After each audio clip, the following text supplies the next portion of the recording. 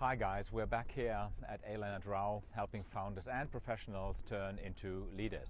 I'm Armin Rau and I'm here to make you a better manager. Today I will show you how to translate your vision for your company into hyper motivation for you, your employees and everyone around you.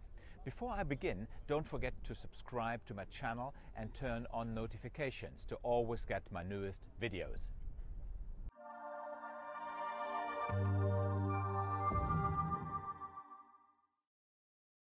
When you craft the vision to leading a successful business venture, you need to make sure it follows a few core principles. It should be compelling, it should be emotional, it should be big, it should be brave, and it has to make sense.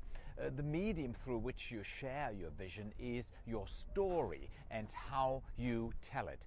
Every time you explain your vision, it should reflect the five components I mentioned earlier.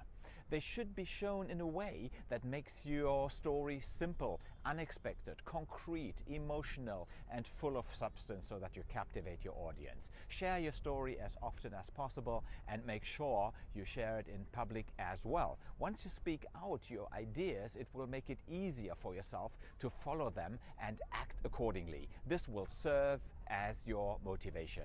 Let's take a look at a few of the greatest stories ever told in speeches.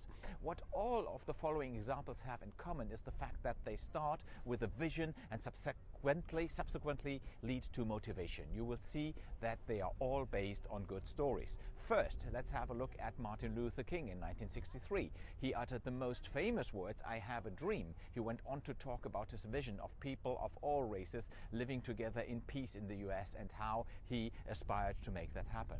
In that same year, John F. Kennedy gave a speech in Berlin, speaking out in German, Ich bin ein Berliner. With these words, he metaphorically explained that the US and he, as the first potential representative, stood behind and would protect the city. This is a story that touches people, especially by using the German language. When you are touched by an idea or a concept, you are motivated to support it. Lastly, let's have a look at Charles de Gaulle's appeal in June 1940 and uh, in the middle of the uh, World War when Germany uh, was occupying France. He said to his fellow countrymen in a speech from the UK that they uh, should uh, stick to their guns and that the future would be bright and this is um, the uh, birth place so to speak of the French resistance. All these examples shows that among all these famous speeches of all time the vision of the future is expressed in a simple story and this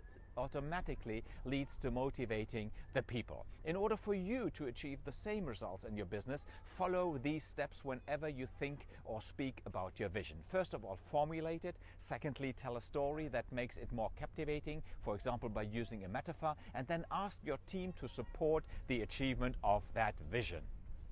If you like this video, make sure you give us a thumbs up and subscribe to my channel and leave a comment with feedback if you like. I personally respond to all of your comments. Thanks for watching. This was Armin Rau from A. Leonard Rau, the Entrepreneur's Entrepreneur. And don't forget, lead yourself.